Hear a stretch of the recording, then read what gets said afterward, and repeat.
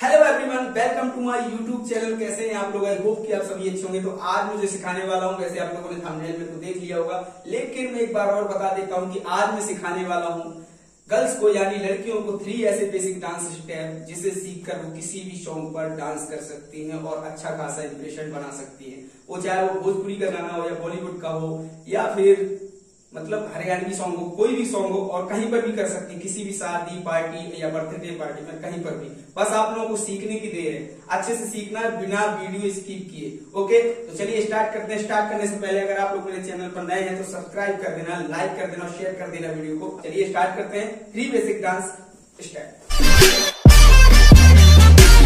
तो चलिए स्टार्ट करते हैं हम फ़र्स्ट स्टेप तो कैसे करना है और कैसे सीखना है तो चलिए मैं बता देता हूँ। तो सबसे पहले फ़र्स्ट स्टेप करने के लिए आपको राइट पैर को टो पे रखना है, ठीक है? और साथ में हैंड को ऐसे ले जाएँगे, ठीक है? और इस हैंड को, जो राइट वाला है, उसको सिलेक्ट करते हुए अपने राइट शोल्डर तक लाएँगे, फिर छोड़ देंगे, ठीक है? फिर हमें जंप लगाना है, फिर एकदम राइट वाले को टो पे रखेंगे और इस हैंड को बाहर निकाल लेंगे ऐसे। और इसको सिलेक्ट करते हुए लेफ़्ट शोल्डर तक लाना है फिर छोड़ देना। तो एक बार देख लो कैसे।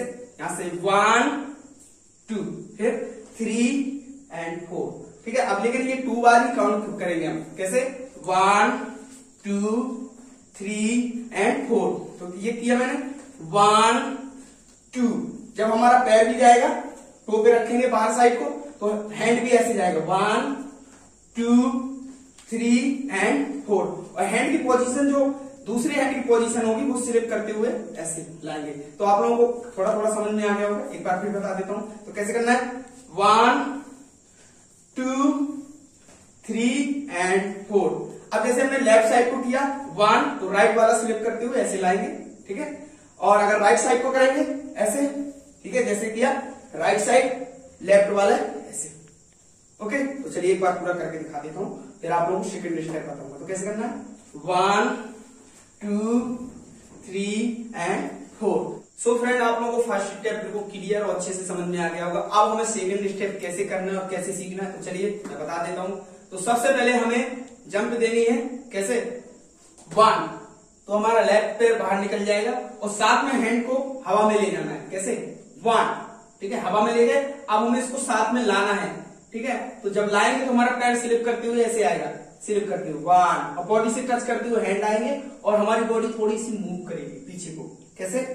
वन ठीक है? और पैर को अपने साथ में जब हम टच करते हुए ऐसे लाएँगे तो हमारी बॉडी ऐसे मूव करेगी और पीछे वाला पैर ऐसे आएगा, अपने पास में, इस वाले पैर के पास में। ठीक है? एक बार फिर से देख लो कैसे कर रहा हूँ मैं यहाँ से।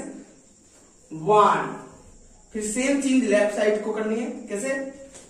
टू ठीक है? एक बार फिर से देख लो, हवा में हैंड को ले जाना है, ऐसे वन फिर बॉडी को टच करते हुए लाना है, और बॉडी को थोड़ा सा पीछे ले जाना है, और पैर को हमें सिलेक्ट करते हुए लाना है, ठीक है? सेम चीज़ हमें लेफ़्ट साइड में करना है तो कैसे? हवा में हैंड ले जाना है, और बॉडी को टच करते हुए लाना है, ठीक है?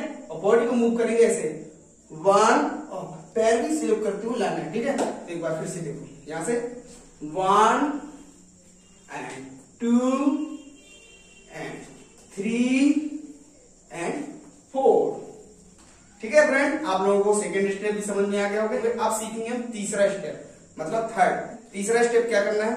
तो चलिए, आप लोगों को पैरों को टोपे रखना है, थोड़ा सा पैरों को उठाए रहना है और टोपे रखना है। ठीक है तो कैसे करना है? One two three four okay तो ये कैसे करना है?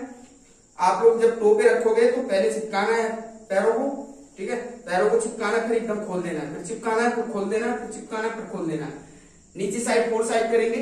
जब नीचे जाएँगे तो वन टू थ्री फोर आप उठेंगे तो four side one two three four okay और हैंड की पोजीशन जब हम नीचे साइड जाएँ तो एक बार राइट हैंड सर के ऊपर से जाएगा और ये वाला हैंड ऐसे जाएगा लेफ़्ट वाला।